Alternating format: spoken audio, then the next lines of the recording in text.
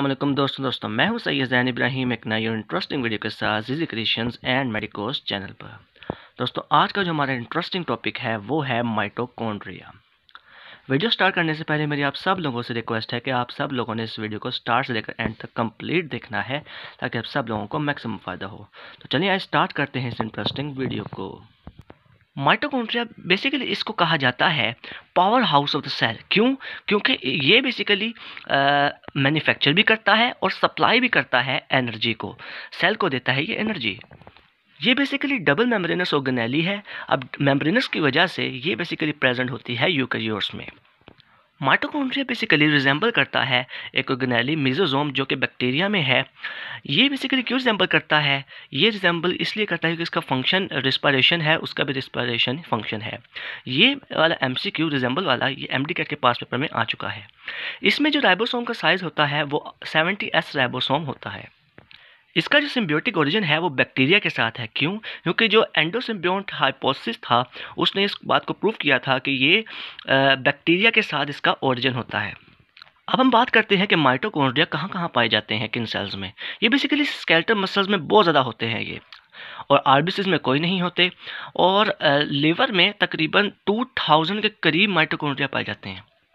अब बात करते हैं हम माइटोकॉन्ड्रिया के स्ट्रक्चर पे। कंपाउंड माइक्रोस्कोप पे देखा गया कि इनका स्ट्रक्चर जो है, वो बिल्कुल वेजिकल्स रोड्स या फिलामेंट्स की तरह है बिल्कुल। जब साइंटिस्ट ने इलेक्ट्रॉन माइक्रोस्कोप की मदद से इस ऑर्गेनेली को देखा तो उनको दो मेम्ब्रेन्स नज़र आए जिसकी वजह से इसको डबल मेम्ब्रेनस ऑर्गेनेली कहा जाता है। ये वाला एमसीक्यू भी एमडी के पास पेपर में आ चुका है कि ये डबल मेम्ब्रेनस ऑर्गेनेली है। पहले बात करते हैं एक आउटर मेम्ब्रेन होती है इसकी। आउटर मेम्ब्रेन जो है, ये स्मूथ होती है फ्रीली परमिएबल होती है।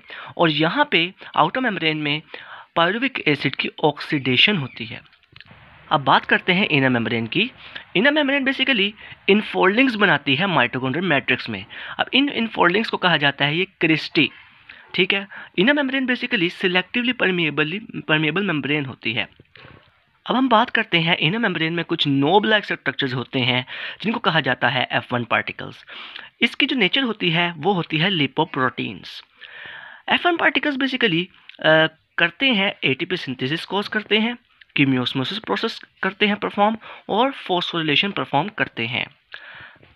अब ये वाला एमसीक्यू के एफ़ वन पार्टिकल्स इन मेम्ब्रेन में मौजूद होते हैं ये पास एम पेपर में आ चुका है। अब मैं बात करने लगा हूँ कि कौन सा आ, कौन सा स्ट्रक्चर में कौन सा मैकेनिज्म होता है।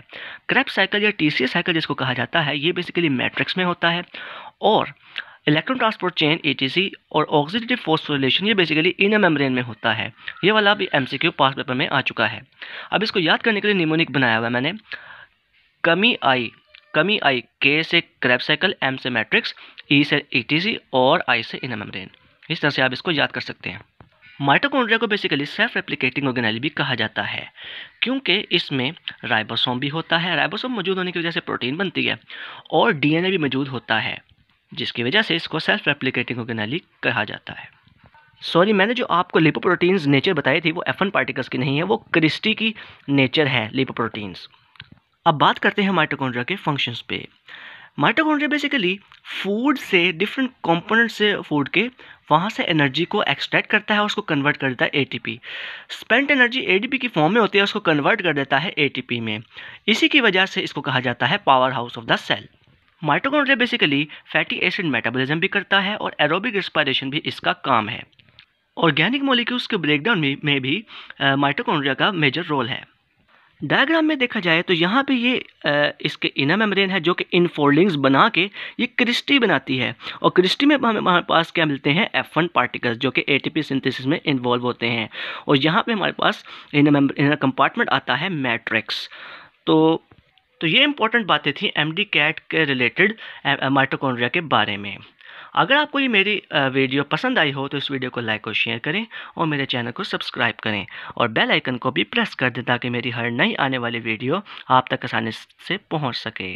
मिलते हैं नेक्स्ट वीडियो में, तब तक के लिए अल्लाह हाफिज़।